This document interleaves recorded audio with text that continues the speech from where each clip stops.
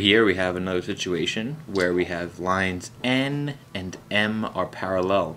So I'll highlight those. Here's line N, here's M, and they're parallel, they're never going to meet. And this line right here then has to be a transversal.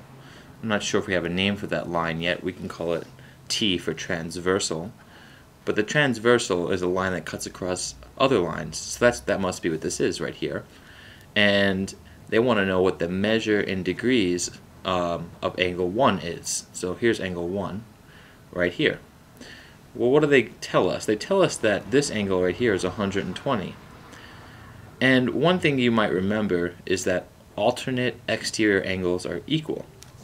So here, this angle 120 and 1 are on opposite sides of a transversal and they're both exterior angles.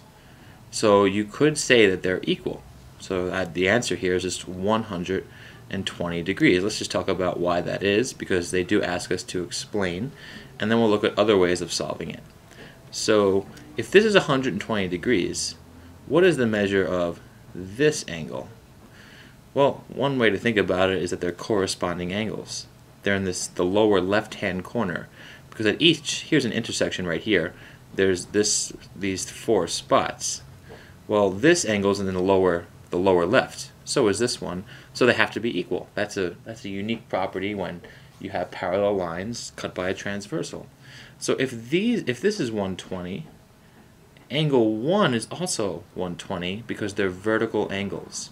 If you remember vertical angles are just two angles formed by two straight lines and they're opposite of each other on opposite sides so they're equal. And um, that's that's the way I would think about it. Now another way of solving it is to just go through this process, right?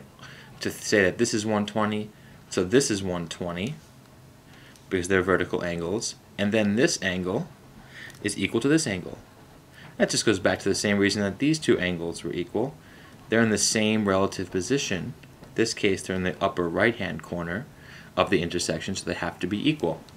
And if they ask for angle 2, right, well, if, if this is 120 degrees, this missing wedge, this missing angle, which is angle 2, has to be 60 degrees.